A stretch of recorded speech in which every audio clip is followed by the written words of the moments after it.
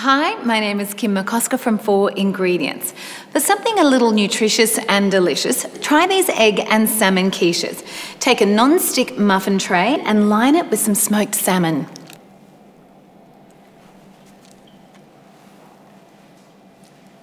Now take six eggs and crack them into a bowl. The fastest way to check for freshness in an uncooked egg is to pop it into a bowl of water. A fresh egg stays at the bottom of the bowl while a stale egg floats.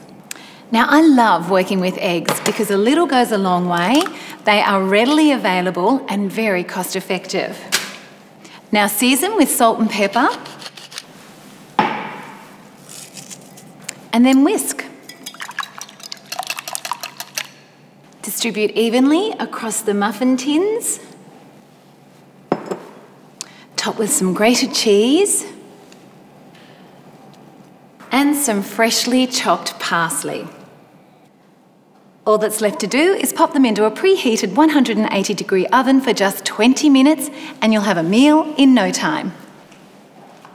And look at the result. Fabulous for lunches, lunchboxes, dinners, and for a busy person on the run.